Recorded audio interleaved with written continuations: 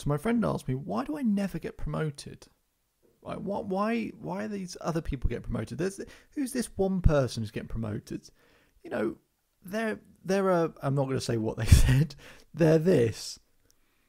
And surely I'm better than this person. Why can't I get, get on the, get on the ladder? Hello and welcome to the Self Belief Chief podcast. You're here with David Hulman. If you want to subscribe to the podcast, keep up to date with the latest episodes, research, science conversations, we upload content all of the time. So feel free to subscribe to the podcast and let's begin. So I'm speaking to a friend. This was about, oh God, I don't know how many years and years ago, but I used to work in a, a big corporate business. And there was a friend who was upset that they'd not got a promotion and that this other person had been promoted. And they asked me, look, what, what, what do you think it is? Now, at that time, I didn't have the experience, the knowledge, the skill, the ideas, the, um, you know, the, the, the career coaching background to know what the difference was. But today I do. Here's the difference.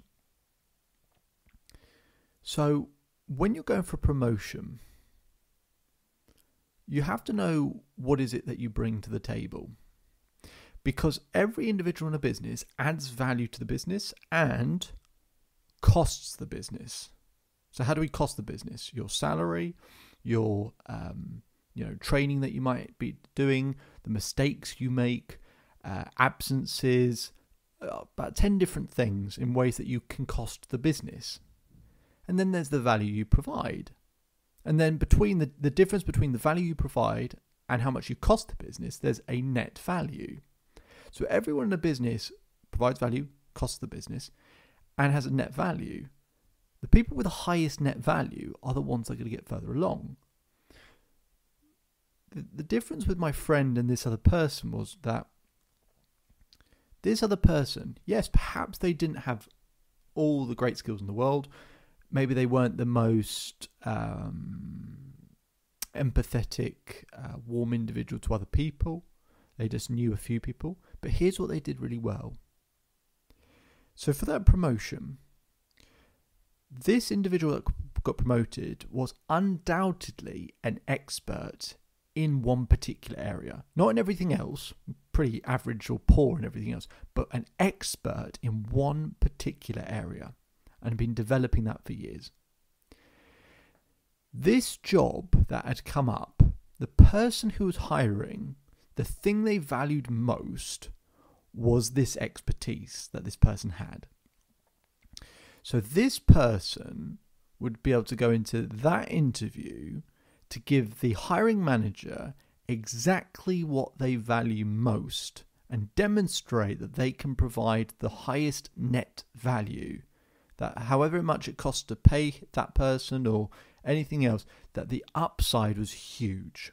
Whereas with my friend, they were talking more like, oh, I'm a hard worker. I ran these projects. I could do this well. I did this. I did. They talked about lots and lots and lots and lots and lots of different details, but not in depth about any of them. Whereas this person just talked in depth about an expertise that this person valued. Now, this person got promoted the other thing is, and I'm going to put it into four stages for you. The first stage is knowing the role that you want, knowing the job that you want, the position you want, right? So they knew that. Okay. The second thing is knowing who that hiring manager is, right? Who are they? The third step is developing a relationship with them over a period of time and the fourth step is finding out what they value most and then demonstrating expertise in that value. So, know what you want, know who the hiring manager is, develop a relationship with them over a period of time where you're, you know, actually adding value to them. And then, fourth step, find out what they value most and demonstrate expertise in that value. So, this is a long term game. When people say in business about playing the game, people think about it in cynical terms, but actually, if you just do the basics, give the person that's hiring the thing they value most and be an expert at it. Now, I'm oversimplifying it in the sense that it's hard to do those things. I'm not trying to say it's not, but it's actually simple to define. And what this individual did was they had built relationships with these sort of decision makers over a period of time. Really good relationships. Didn't build relationships with everyone else, which was a bit of a shame, but with those people, found out what they valued most, became an expert in that thing, and then they are perfectly positioned, better than anyone else at their role.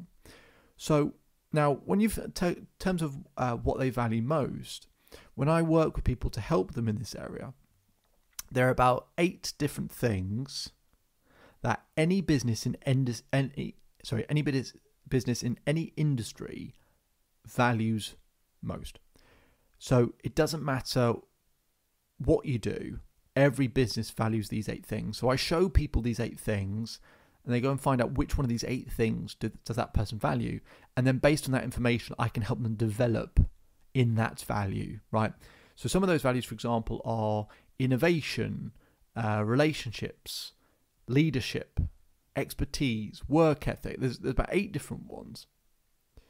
And whatever that value is, I can help them develop and grow in that value so they can maximize their ability in that space and then give that decision maker a real high level in that value.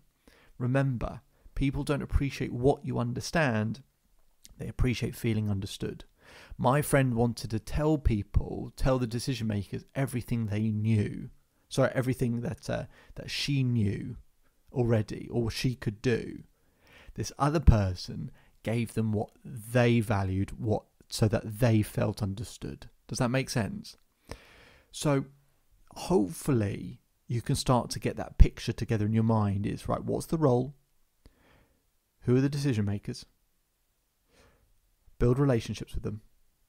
Find out what they value and demonstrate expertise in that area. So maybe you have to train or develop or whatever. But those four stages, if you can see that and you can imagine those four steps and you can kind of feel how going through those steps would make a difference and you like the sound of that, then by all means, on the Self Belief Chief website, uh, there'll be more resources, more detail, more information on how to, to do that. We'll put a link in the description as well if you want to schedule some time with me for free uh, to discuss uh, working together, or you can apply to work with myself if it's something that I think I can help you with and actually help you grow. But otherwise, my name is David Hulman. If you change today, today will change your life. So enjoy the rest of your day, enjoy the rest of your life, and I'll speak to you again soon.